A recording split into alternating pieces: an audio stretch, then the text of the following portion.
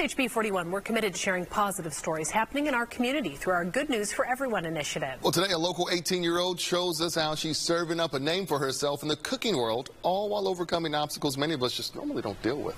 KSHB 41 News reporter Emma James introduces us to that young lady.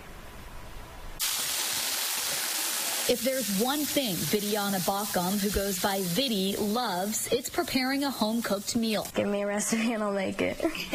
Her mother, Donna Baucom, says Vidi showed an interest in cooking and baking as a little girl. Vidi, with her little stool, would follow me all over the kitchen going, what are we making? What are we making?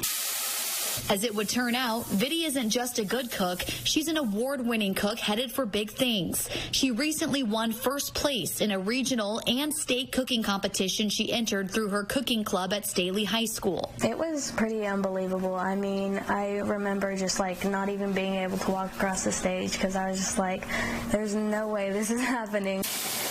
Vidi now has the chance to turn up the heat a little more and go for a national title. She's hoping to raise $3,500 to travel to the competition in San Diego at the end of June.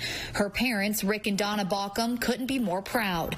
They adopted Vidi as a little girl after she was put into foster care as a meth and alcohol baby. We, of course, wanted to be a blessing to her uh, and taking her into our home, our hearts, our family.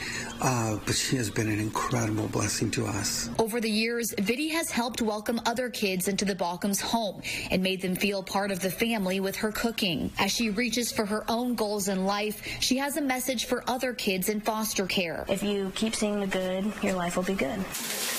In Kansas City, Emma James, KSHB 41 News.